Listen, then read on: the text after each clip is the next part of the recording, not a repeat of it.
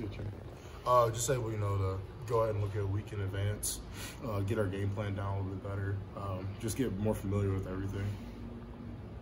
Trey, you were a Mr. Football uh, winner at Tennessee. They announced the finalists today. What what what did that what did that award mean to you? And uh, and then to come here and play, what it, is there any added meaning to that? Yeah, that's a really big deal to me, man. Um, in high school, I didn't really know how important it was when I was younger, but I know my sophomore year, when I got invited, it was a really big deal. Uh, it means a lot.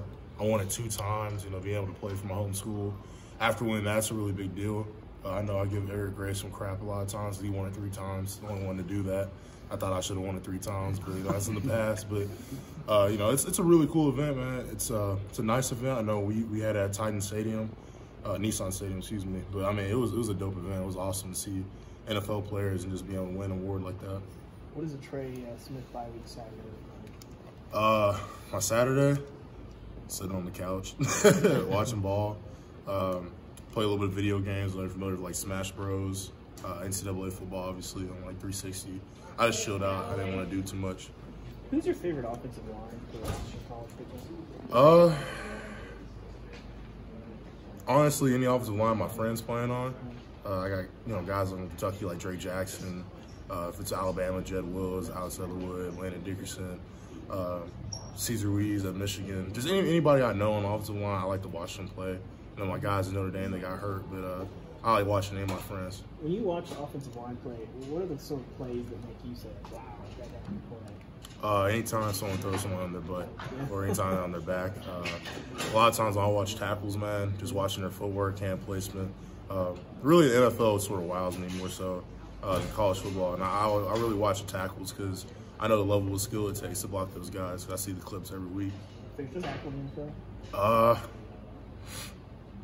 uh, it's between Tyron. Tyron's like a god on the field. It's ridiculous. no one's getting there. Uh, David Bakhtiari and then uh, Mitchell Schwartz.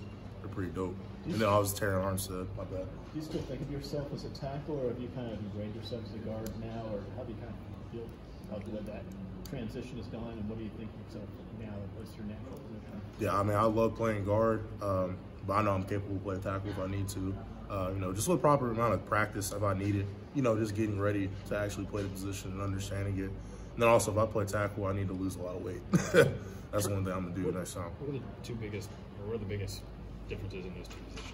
Uh, the brand athlete. I mean, a lot of times a guard, I have a bigger dude. Um, this year it's been a little different. A lot of the bigger guys have a lot more wiggle than I used to do. But uh, the smaller guys that tackle, you know, your hand placement has to be critical. You know, a smaller target area, if you don't get your hands on it, he's going to run around you. So there's, there's a little bit of more patience in your set as well. When you talk about hand placement, why, why is that so important for a tackle? You have explain that? Yeah, uh, hand placement's pretty it's pretty key, man. You got guys like Kavon over there that will sauce you up if you don't get your hands on them, man. I mean, footwork is definitely a it's definitely a major factor, but in my opinion, a lot of times you can have a really great set, but you're just playing with your hands and he swims you, goes inside. If you don't ever get a grip on him, a lot of guys can be, you know, slippery. If you don't have your hands on him, man, how are you going to block him, in my mind? Mm-hmm. Trey, Nigel, Nigel, talked about kind of finding a passion for the game th- this season, his last kind of go round. How, how have you kind of seen that, uh, you know, behind the scenes on the practice field, and then the success he's had kind of translate that in, on the Saturdays? Yeah, Nigel's had a tremendous, um, a tremendous way he's approached the game this year. I've seen it from a leadership standpoint, uh, the seriousness, the severity he knows about everything that's going on. Um, Nigel likes to get on everybody's butts, which we need a lot of times. He's the one that has the guts to come out and say stuff when other people are a little too scared to say anything.